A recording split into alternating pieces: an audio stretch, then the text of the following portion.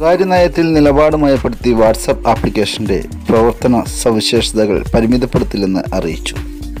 വ്യക്തിഗത വിവരം സുരക്ഷാ നിയമം ഇന്ത്യയിൽ നിലവിൽ വരുന്നതുവരെ ഇത് തുടരുമെന്നും അധികൃതർ അറിയിച്ചു.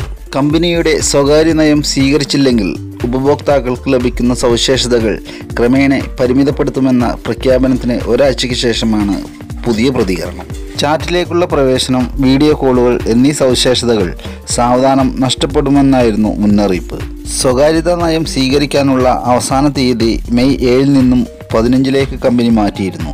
ഇതിന് പിന്നാലെയാണ് ഉപഭോക്താക്കൾക്ക് കർശന മുന്നറിയിപ്പുമായി വാട്സാപ്പ് എത്തിയത്. അതേസമയം അപ്ഡേറ്റിനെക്കുറിച്ച് സമയാസമയങ്ങളിൽ ഉപഭോക്താക്കളെ ഓർമ്മപ്പെടുത്തുന്നത് തുടരുമെന്നും കമ്പനി വൃത്തങ്ങൾ അറിയിച്ചു. കേന്ദ്ര സർക്കാരിന്റെ മെയ് പതിനെട്ടിലെ കത്തിനോടും പ്രതികരിച്ചതായി വാട്സാപ്പ് വ്യക്തമാക്കി. സംഭവത്തിൽ തൃപ്തികരമായ മറുപടി ഇരുപത്തഞ്ചാം തീയതിക്കുള്ളിൽ ലഭിച്ചില്ലെങ്കിൽ നിയമ നടപടിയിലേക്ക് കടക്കുമെന്ന് ഐ ടി മന്ത്രാലയം വാട്സാപ്പിന് മുന്നറിയിപ്പ് നൽകിയിരുന്നു.